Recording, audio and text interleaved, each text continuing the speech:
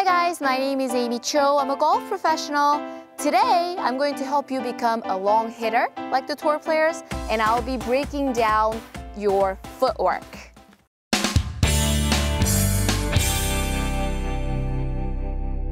If you've seen a lot of my golf lessons, you know that I emphasize on the lower body usage of the core muscles and the synchronization of the whole movement. I know it's complex, but I always do my best to amify the whole situation, meaning making it simple, fun, and effective.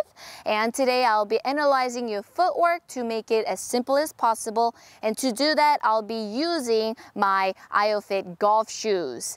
Uh, don't let these cute looks fool you. Uh, it, it's beyond just pair of golf shoes. It has amazing kind of computer system inside. In the corner of this screen right now, you probably see my feet moving around. Um, that's what the shoes are doing right now. It's capturing how my uh, weight is shifting around. So let me explain about the shoes really quickly before I start my lesson. Basically, the good thing about IOFIT is that it analyzes how your weight is shifting during the swing. You're able to record and check out your positions, take away top of the backswing impact, etc., etc., to see how well you're doing compared to the professionals. And also because you can use it to practice, the immediate feedback is excellent when you're doing swing changes, okay? And also, uh, lastly, you're able to wear it on the golf course. So you're actually able to record how you do in the real situation compared to the practice sessions and see if you move differently under pressure or out on the golf course compared to the practice tee. It is an item I truly love because I emphasize on the pressure distribution and usage of the lower body. All right, having said that, let's go right into analyzing the wrong weight shift in the driver swing. So in the driver swing, I always say you cannot shift all at once like the iron because then you're gonna go down below into it, hit down and the, you're gonna most likely pop it up or you're gonna hit it weak right. We don't like those.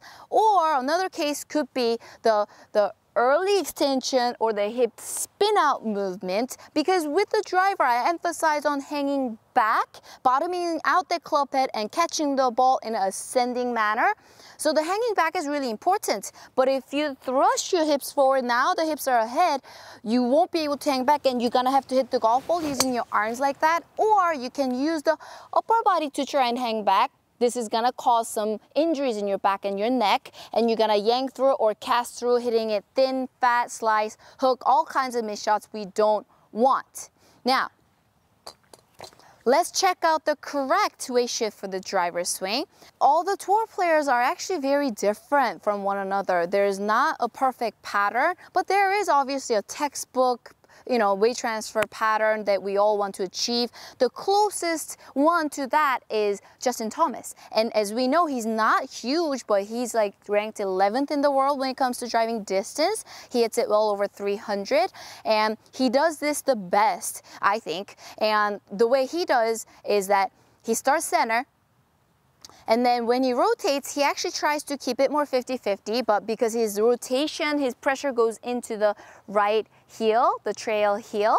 And then when he starts the downswing, he goes boom, about 90% in the front left. And then he hangs back and at impact, he has about 90% in the front right. And then after he hits it, he finishes, weight transfers all the way into the left heel. So it goes right heel, front left, front right, left heel. So this is the pattern we want.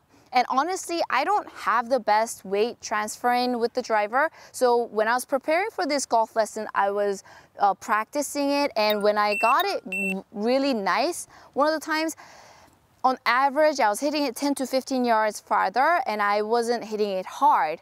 But I mean, it totally makes sense because if you put your body weight I won't reveal how much I weigh, but if you put your weight into the golf ball and utilize that as source of power, obviously you're going to gain more distance, which means if you are bigger than me, you have bigger source of power, free source of power standing here, might as well use it, right? Okay, so now you understand the correct pattern. It should be like this. Now we just need a drill to help you get there. You're gonna grip the club with your left hand, lead hand, and then you're gonna grip the other end with your right hand, shoulder width apart, a little bit wider. You're gonna stand up straight like this, but we're gonna bend the knees ever so slightly, okay? Now from here, pretend like you're Justin Thomas. You're going to turn center 50-50, boom, and check out where your weight is here. Are you, did your weight finish in the front or in the other foot? I want it to end up in the trail foot heel, outside right heel, okay? From here, number two, you're going to get into your golf setup, boom, and then step into the front left about 90%. And now you're going to swing down, hang back. You're gonna feel the pressure in the front right about 90%. After the impact goes into the left heel. Let's try that again. That's four steps. Number one is rotate into the right heel. Number two, step. Number three, hang back. Number four, left heel. If we're ready, let's go ahead and hit.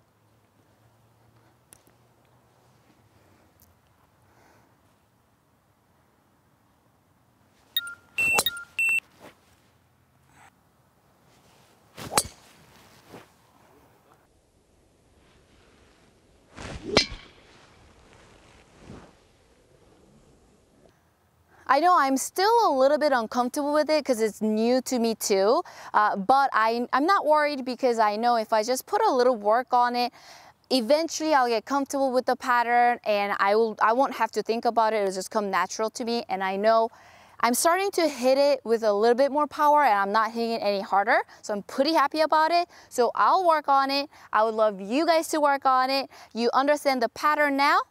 Try the four-step drill I showed you. Get this in your body so you can hit it long and straight like Justin Thomas. In case you guys have more questions on the shoes, I'm gonna link that down below. Go check it out. Thank you guys for watching. I'll see you guys in the next video.